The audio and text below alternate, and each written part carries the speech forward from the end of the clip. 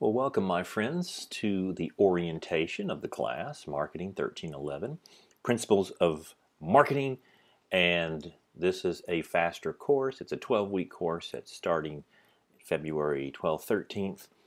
Uh, and I'm excited that you're here. It's going to be a little bit faster, so instead of doing a full orientation during the first day of class, we're going to get right into some fun, fun study of marketing. So um, hopefully you will view this before you come to class. This gives you an overview of what we're going to do. My name is Randy Saleh. I am an assistant professor of business here at Tarrant County College, and I'll be leading you through this great course of marketing. I like to look at courses and I like to you know, why we do things, and and that is the why, the what, and the how.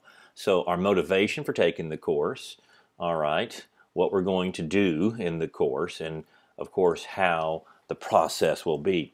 So, a chaotic world, the why. You know, we're surviving in chaos here.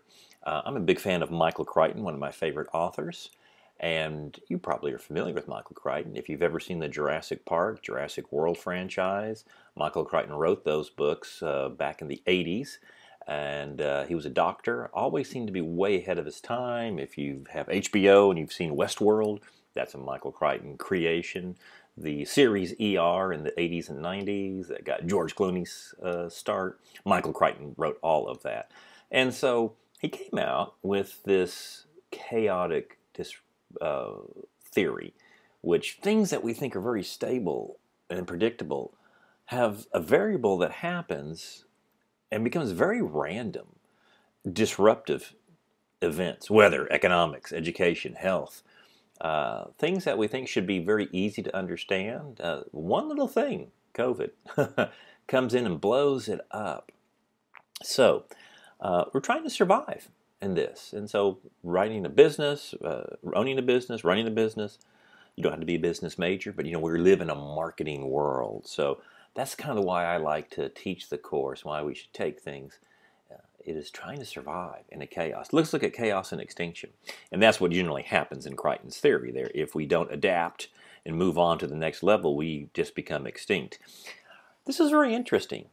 52%, that's 260 of the Fortune 500 companies that were on the list in 2000, 260, 52% are extinct.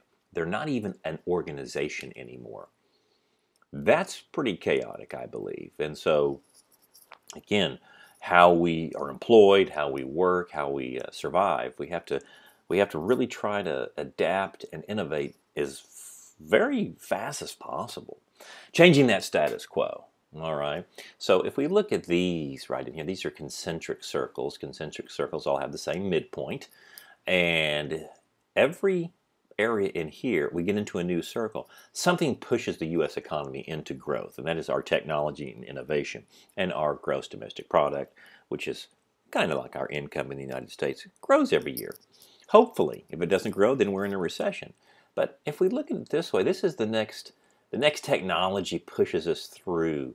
So this circle right here, the black circle represents the innovation happening and pushes us into a new frontier. So you kind of think, where do you want to be? Uh, do I want to be right back in here where the where, where it's not so chaotic, or or do I want to go all the way over the chaos and I could drop over? It's interesting. We look at Kodak, Sears, some of the bigger businesses that, that, that owned their industry. They didn't adapt. They got so big they just didn't think they needed to, and they kept back here and they just became extinct. If we go too far, we can become extinct as well and before the next layer appears. So we've got to put ourselves somewhere around here, somewhere where the action is happening, close to it, and understand how we can adapt through that. So I like to say we change the status quo. Many students come in here thinking, you know what, I'm a customer of Tarrant County College. Treat me as the customer. I think that's the wrong mindset, my friends. I think you're not the customer. You're the product. You are going into the workforce. You're going up to the next university.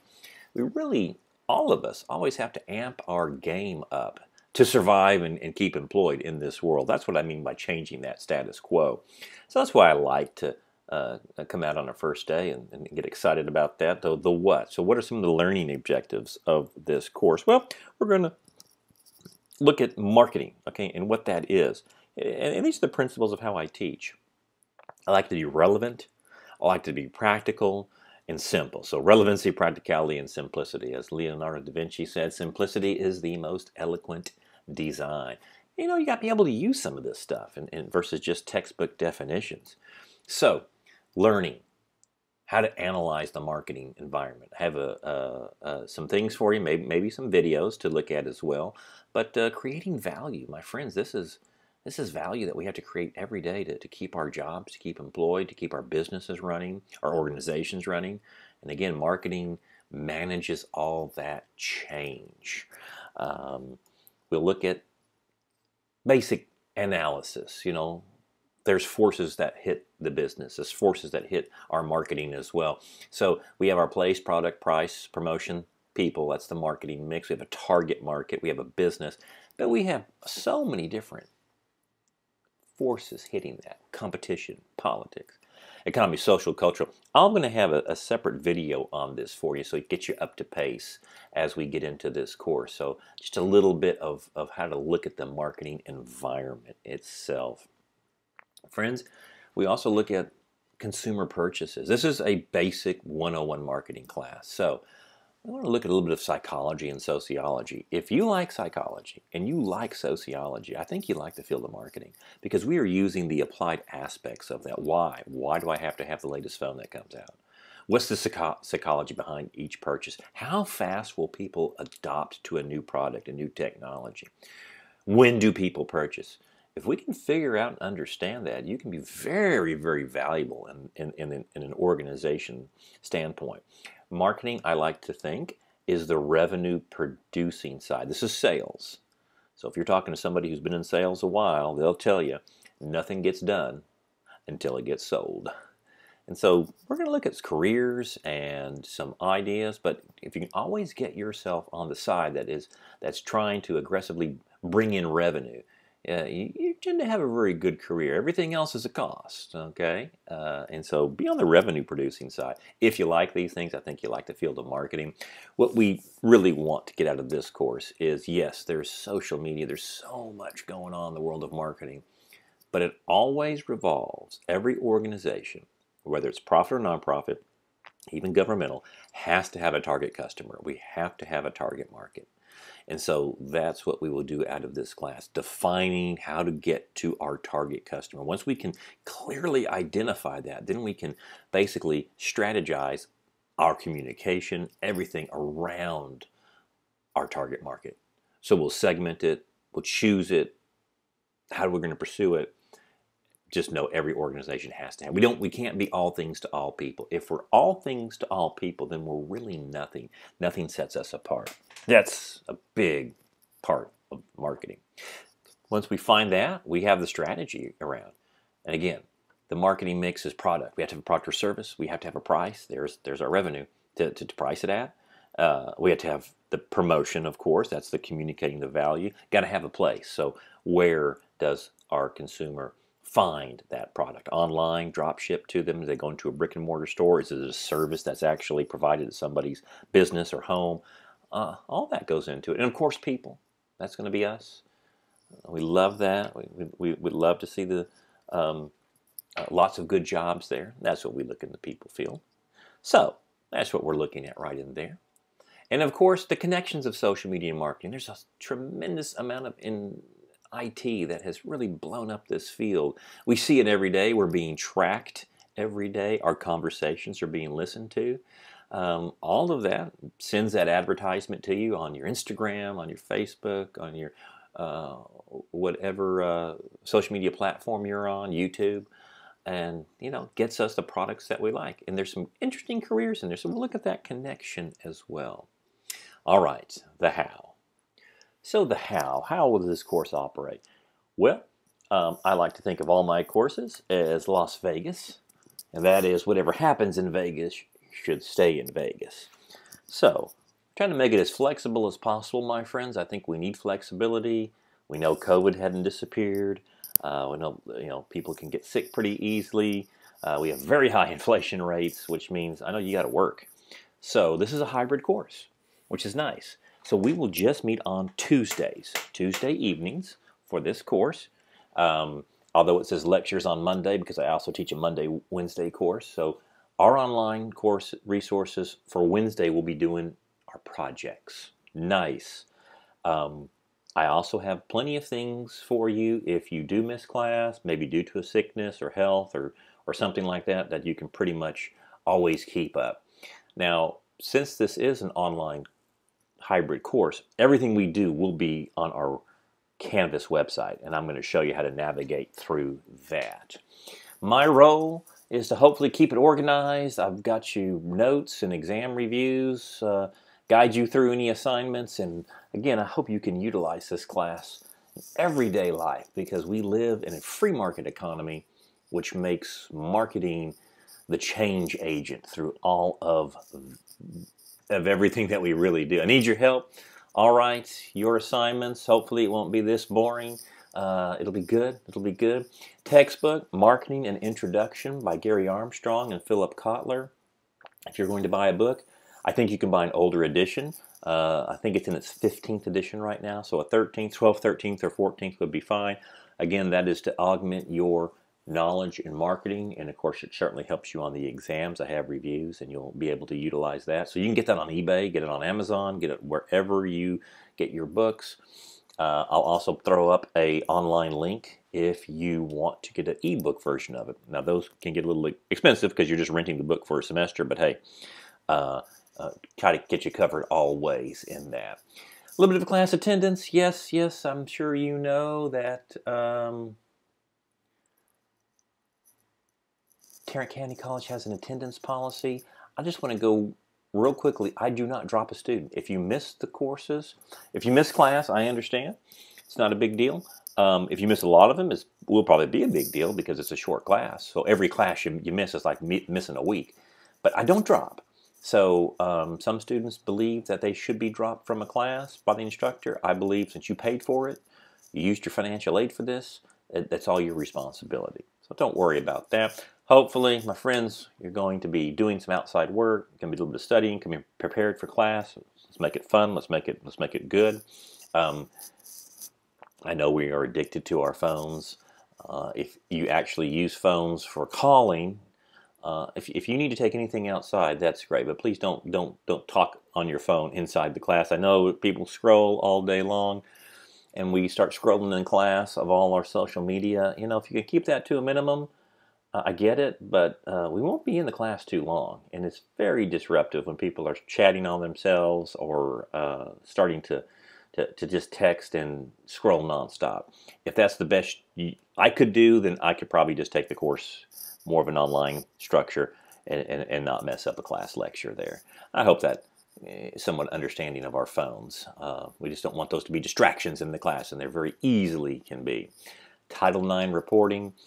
Tarrant County College is very proactive. If any student believes they feel uncomfortable for any reason with another student, with, with, with, with something on campus, or even something in their personal life, any type of an abusive situation, we do report. We have Title IX reporting agents. We want to help. That, that's, that, that's the news right in here. We take it very seriously, and uh, we want to protect all of our students in any way we possibly can. So just let you know, if you do tell somebody who works for the college about an incident, we, we do report. And we do have a wonderful counseling uh, team. They're licensed professional counselors. If you ever, I mean, let's face it, college can get a little overwhelming. Certainly for those of us who are working very hard and trying to have a, you know, keep our relationships going, trying to get our school going. Sometimes we feel like it's just too much. We do have some great counselors that can walk any of us all through that and uh, those meetings are generally always going to be confidential. So uh, if you need support, we want to give that to you. Um, children on campus, this is a night class. It's going to be 6.30 on Tuesdays evenings. So, and if you take this course in the future, you know, and it's an in, and it's a night class as well, just remember, don't don't bring a, a child on campus. And I've, I've seen it, actually, I see it all the time, or maybe it's a younger brother or sister or it's a niece or a nephew and just say, hey, just wait out in the hallway because nobody was able to uh, take care of you tonight and we'll be cool. That's really abandonment of a child and it is a class C misdemeanor. And I would not like anyone to be given a five, six, seven hundred dollar ticket, and I've seen it happen before. If you have to take care of your child, your brother, sister, niece, nephew, friend, um, just that comes first. Okay, do that at home, you know, and then we'll catch you in the next time because uh, uh, don't want anyone to. Uh, rudely rewritten a ticket, and, and again, friends, I've, I've, seen it happen, and it does generally happen in the evenings, and uh, it's not that that happened to us. Campus carry, um, there's some of the law right in there. This is a hard campus right there to do that on because uh, we do have a child care center on campus. So please speak with our police if you believe that's the right that you want to exercise. There are some very uh, stringent rules to it, and we've had some students do it wrong, and the end result was that's a felony offense. Their firearm was brandished. This is not open carry, it is concealed. Uh, it was $10,000 worth of legal fees, and you never ever get a license to carry again in the state of Texas. So, my goodness, uh, I'm just going to throw that out there. If somebody believes that is their right to do, please see our police department. Exactly the rules. I would hate for any student to uh, basically you know, kind of blow their career that early by getting a felony offense uh, uh, of unlawfully uh, carrying a weapon on a college campus. That that would be very difficult to overcome. Okay, so here's how the course looks like as far as grade wise. I'm trying to make it as simple and straightforward as possible. We have an orientation quiz. Go ahead and take that right now. Just look at your syllabus, go over it. It just shows you how to do an online test and that we understand how the course operates. We have a LinkedIn assignment. It's a great assignment to start branding ourselves. And uh, uh, further directions will go right in that. Just look at the directions on Unit 1. We have a HP Life certificates in the field of marketing. This gives you different certifications, uh, digital certificates, which is great. You can put those on your LinkedIn profile. So we're trying to build that resume online. And you also get a digital badge, Marketing Basics. And that's a icon that you get to use, download, and once you finish the, all of the certificates and put it on your resume, it's real good and it automatically links back to Hewlett Packard. HP is Hewlett Packard. It's the Hewlett Packard Foundation trying to you know get in increase the knowledge of business and entrepreneurship across the world. So that's real cool, and they're free. Love free. Two tests, Unit One, Unit Two. We'll do an in-class project, uh, how to do a little marketing analysis on uh, on, on, a, on a local business or, or major business around here. I'll give you a little little experience doing that. And then the very end, we have kind of like a wrap up uh, end of course assessment. And uh, 500 points total. There's the grades right in there. We're looking for gold, silver, bronze at the least. Uh, the only way you make these two right in here is if you just don't do anything. And it happens. It happens. I want. I love to see all gold and silver. That'd be fantastic. Fantastic. As we look, again, you do need to have good computer access. It is a hybrid course, so pretty much everything's going to be online that you will put in, except for the um, in-class assignment, which is which is a fun one. Again, um, invest in a good I'd, ten dollar. I, would go to a hundred dollar. Get a good uh, SSD terabyte drive, or at least 500 gigs you know, protect your digital content. That's very important throughout your college career as well as your career. And so invest in a really good flash drive to back up all your work. I say that in every class, not just this class, but, but for everything you do. You want to be able to say, yeah, I, I, I have done that. Yes, I have some cert certifications. Always have that backed up. Any rate, who are you? We'll find that out in class. Uh, Looking forward to a good semester, my friends. What we'll do now is we'll go to Canvas and just give you a quick orientation of how to find things. And again, hopefully you will watch this before we meet eh, for class. That way we can hit the ground running on that first day. So my friends, I'm, I'm certain you've already come to this page because that's how you got the video. Here's, here, here's the home page. Here's the course. Again, we'll start this up on Tuesday, February 13th. That's going to be our classroom. Hopefully it will not change. NBSS 1108. Just basically exactly what we're going through on the course. Um, syllabus right there. Again, go ahead and download that. I will try to have you one on the first day of class as well. a course organizer. As you look through your course right in here, I always like to look at syllabus. This tells us all our due dates as well. So, you know, it's a it's a little faster class, so be prepared to come in working strong.